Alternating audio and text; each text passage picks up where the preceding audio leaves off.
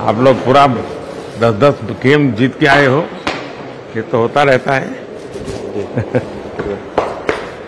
दूसरा ये भाई देश आप लोगों को देख रहा है। हाँ, हाँ। मैंने सोचा मिल लू सबको। होता है। नमस्कार दोस्तों। दोस्तों, देखा जाए, इंडिया वर्ल्ड कप फाइनल हार गया।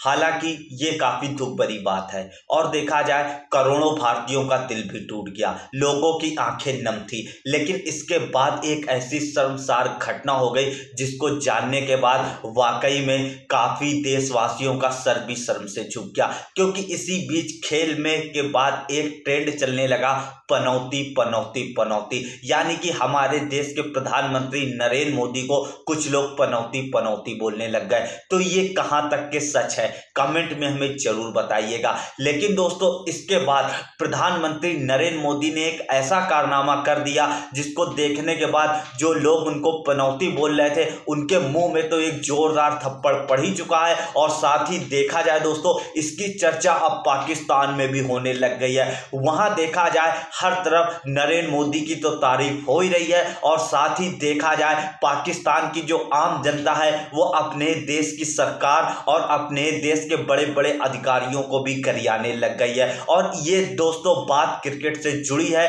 तो चलिए दोस्तों, जानते हैं कि मोदी ने ऐसा क्या कारनामा करा है कि पाकिस्तान में उनकी तारीफें होने लग गई हैं। शामी की परफॉर्मेंस की अप्रिसिएशन पे, जो उस इलाके के, जो उस एरिया के सीएम हैं उन्होंने शमी का विलेज है, सहासपुर अमरोहा में ये विलेज है और वहाँ पे शमी के नाम से पूरा स्टेडियम बनाने की वो एप्लीकेशन डाल दी है। So this is how we appreciate our heroes and this is how we uplift our heroes अब और कितनी मोटिवेशन है वहाँ पे रहने वालों के लिए वहाँ के रिहायशियों के लिए लेकिन तो स्टेडियम बनाने की एक बात हुई मोहम्मद शामी के नाम पे। How important is this factor अब मैं अगर ये सोचती हूँ कि जहाँ जहाँ हमारे लड़कों ने परफॉर्मेंसेस की वर्ल्ड स्टेज पे ऐसी परफॉर्मेंसेस आई अगर उनका ये सोच के उनके इलाकों में स्टेडियम बना दिए जाते तो आज हमारे पास कितने सारे स्टेडियम्स होते? हाँ बिल्कुल ये भी है होना चाहिए। हमारे जो प्लेयर्स हैं वर्ल्ड क्लास प्लेयर थे ओवर द ईयर्स बहुत बड़ी बड़ी परफॉर्मेंसेज दी हैं। बिल्कुल सही बात आपने की। है स्टेडियम नहीं तो एटलीस्ट उनके स्टैंड होने चाहिए थे। मुझे नहीं पता मुशी भाई का मुल्तान में है कि नहीं है। आप, आपको पता होगा। है, है। अब जैसे सकलैन मुश्ताक का नाम कहीं भी आपको नज़र नहीं आएगा। तो उसका अपने लाहौर में नाम नहीं है काफ़ी स्टेडियम में। तो स्टेडियम तो कहीं रह गया बनाना है इधर तो हम वही कह रहे हैं डिसरिस्पेक्ट बहुत है। वो उसने अभी शामी अभी खेल रहा है। खेल रहा है। और सकलैन जितनी परफॉर्मेंस तो कभी नहीं दी उसने लेकिन उसके बावजूद उन्होंने उसको रिस्पेक्ट दिया है। उन्होंने उसके शहर में स्टेडियम अनाउंस कर दिया। और नरेंद्र मोदी साहब उनके ड्रेसिंग रूम में गए उनको शामी को जैसे गले लगाया उन्होंने और बड़ा दलासा दिया कि बेटा होता है। अगर आपको याद हो चंद्रयान जब उनका मिशन जो है वो वो कर गया था फेलियर हुआ था उसका तो उस वक्त भी उन्होंने जाके गले लगाया अपने साइंटिस्टों को कि बेटा कोई मसला नहीं यार आप जीत जाओ दोबारा से आप अपने मिशन भेजोगे और आप आप लोग पूरा दस दस गेम जीत के आए हो ये तो होता रहता है। दूसरा ये भाई देश आप लोगों को देख रहा है। हाँ, हाँ। मैंने सोचा मिल लू सबको।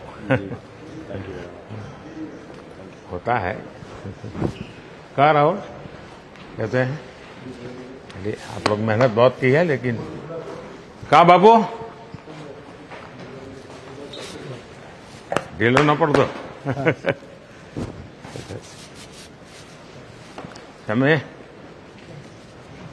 बहुत अच्छा किया है इस बार।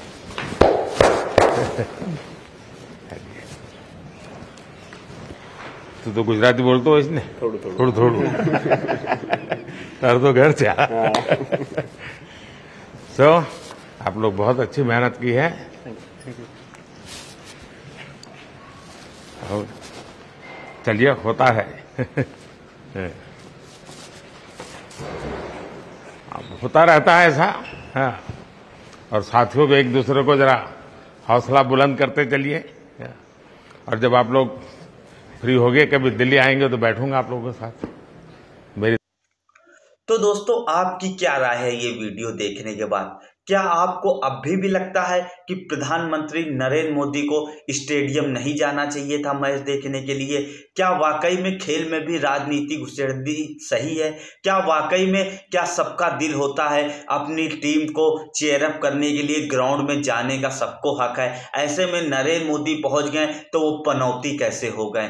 फिर तो दे उस ग्राउंड में काफ़ी लोग मैच देख रहे थे। क्या वो सब भी पनौती थे? ऐसा नहीं होता। जीत हार लगी होती है। लेकिन इन सब के बावजूद भी देखा जाए दोस्तों, ज़िंदगी यही नहीं रुकती। आज नहीं तो कल कल नहीं तो परसों गाड़ी चलती रहेगी। इस बार वर्ल्ड कप हारे तो क्या हो गया? अगली बार वर्ल्ड कप फिर मौका मिलेगा। अगली बार भी हम लोग वर्ल्ड कप जीत सकते हैं। वैसे आपकी क्या राय है इस वीडियो को देखने के बाद? कमेंट में हमें ज़रूर बताएँ। और वीडियो पसंद आए तो वीडियो को लाइक करिए, चैनल को सब्सक्राइब करिए। हम आपके लिए ऐसी वीडियो बनाते रहेंगे। मिलते हैं हम आपसे अगली वीडियो में। तब तक के लिए नमस्कार। Bye bye.